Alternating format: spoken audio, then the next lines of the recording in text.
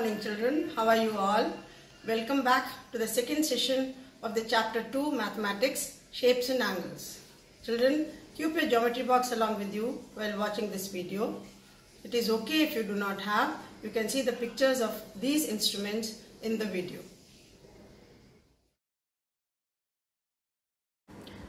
Before proceeding further, let us revise what we did in the previous session. You had learned what are polygons, names of different sided polygons and what is a regular polygon. Polygons are closed figures made of straight lines.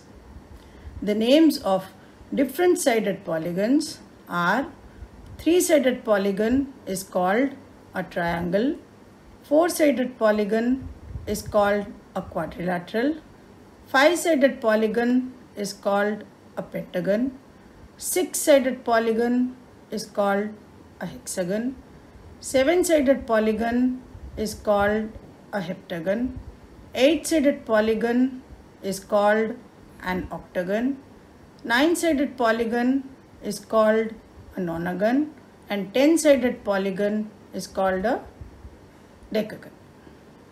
What is a regular polygon? A polygon is regular when all angles are equal and all sides are equal. Now, what is an angle? An angle is a figure formed by two rays meeting at a common end point. The common end point is called a vertex. An angle can be a small angle, a big angle or a bigger angle. Now what is a ray?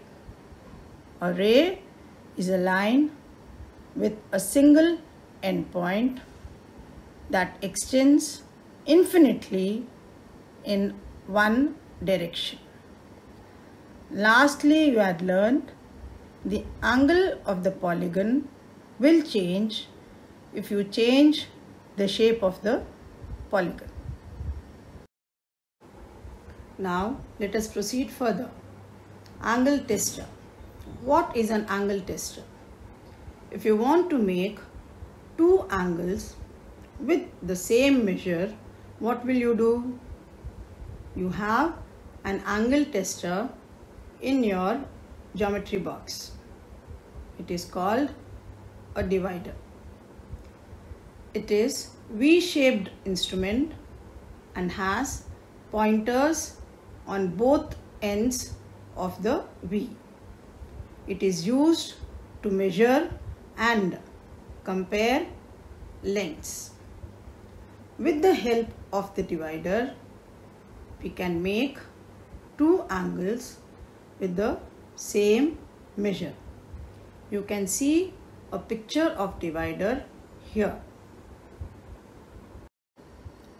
Let us now see how we can make two angles with the same measure using a divider. Draw an angle using a ruler.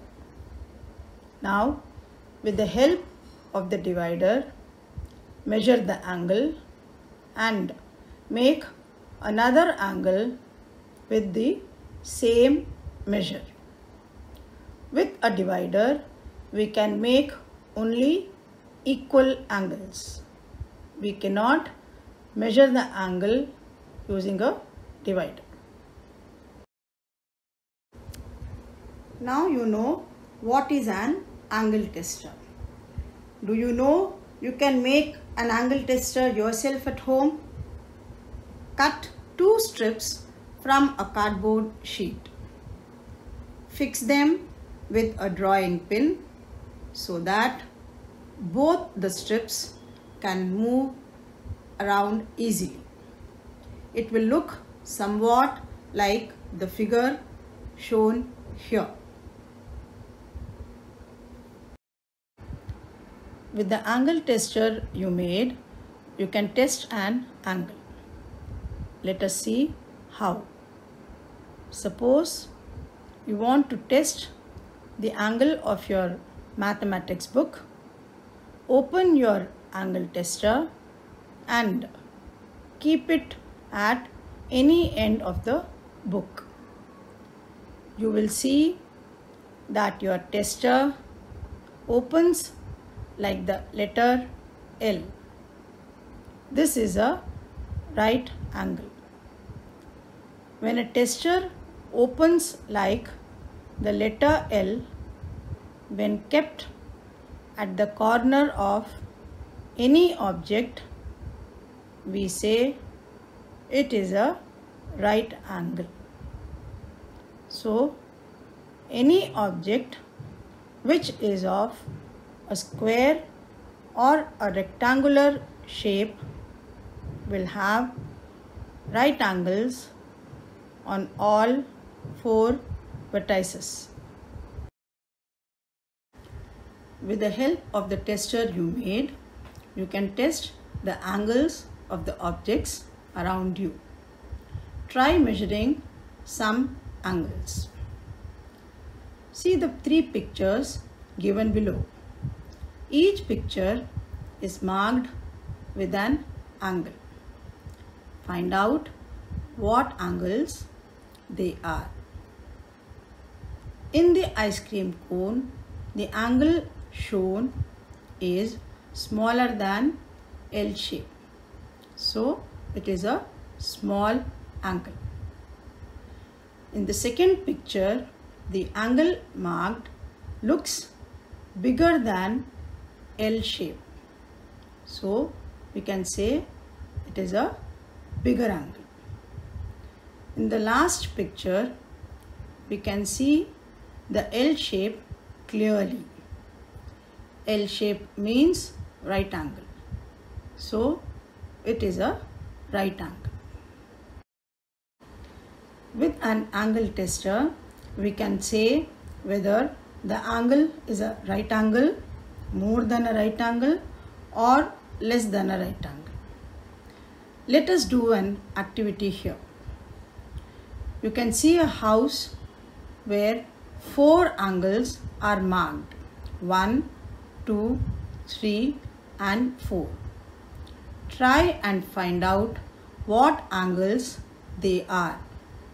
A right angle or smaller than a right angle or bigger than a right angle. Angle 1 is of L shape. So it is a right angle. Angle 2 is bigger than L shape. So we can say it is bigger than a right angle. Angle 3 is also bigger than L shape. So it is also bigger than a right angle.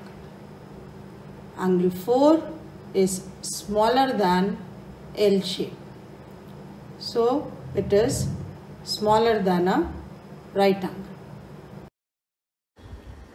Do you know there are angles in the letters of your name? See the word lion. I have marked the angles in these four letters. Find the number of different angles in the word lion. Now write your name as shown above that is using only straight lines and try to find out the number of right angles, the number of angles more than a right angle and number of angles less than a right angle in your name. Changing shapes. Make a pentagon that is a five-sided polygon using five matchsticks or ice cream sticks. Now push any side of the shape downwards with the tip of your finger. What do you think will happen? Yes, the shape of the pentagon will change and the angle of the pentagon will also change when pushed down by the finger. But do you think the same thing will happen in a triangle? No. A triangle has only three sides. You cannot change the shape easily. So the angle does not change as in other shapes like square, hexagon, pentagon, etc. Make a triangle with three matchsticks and see the result by yourself. Today we have learned an instrument called divider which is also known as angle tester is used to see whether two angles are of same size or not. You also learned L-shaped corners of any object is called a right angle. Lastly, we learned if the shape of a figure is changed, then the angle of that figure also changes.